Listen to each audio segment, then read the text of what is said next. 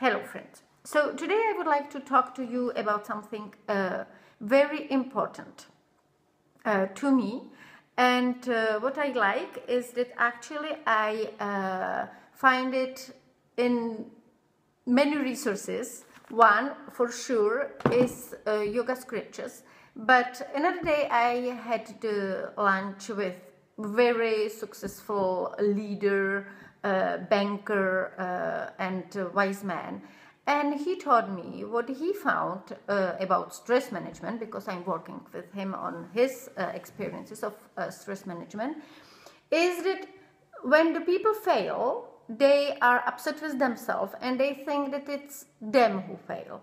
And when they have the success they are proud of them because they think they have the success uh, they are cause of failure and they are cause of success and he told me both are wrong. And i was listening to him you know in the middle of paris um, with this uh, mouth open like in admiration. And then i just told him you are yogi you are yogi because this is exactly the teaching of yoga this is exactly what uh, what krishna said to arjuna and this is, uh, this is exactly the path of yogi. Do what you have to do, but stay detached from the fruits of your action. So today I would like to read you something from, from Gita.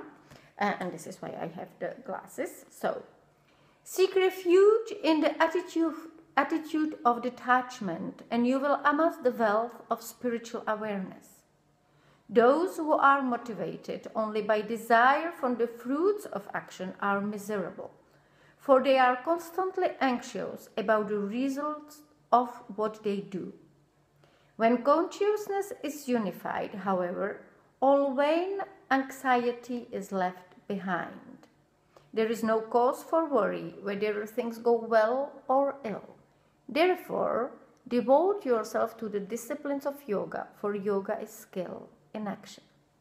So, those are words of Krishna to Arjuna, and you can decline it in in um, many ways. But please, if you are really looking for happy and successful life, the success is not in the material pursuit.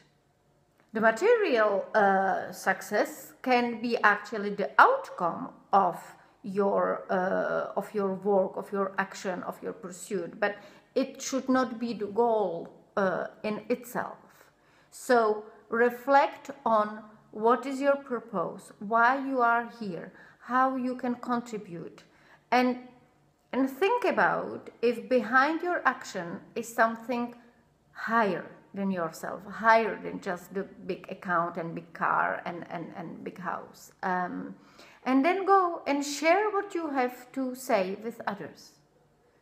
And of course, the ultimate purpose of each of us is to realize that we are not this body, that we are not uh, this personality, that we are not what we are doing, and realize the ultimate truth. But but before we do this, uh, there are all these small steps along the way, and I think that to to be aware how we contribute with whatever we are doing, and have this clarity, uh, actually keep us rooted in in our action, and so we are doubtless and we are fearless because we are not afraid of the outcome of whatever we are doing. We have this clarity why we do it.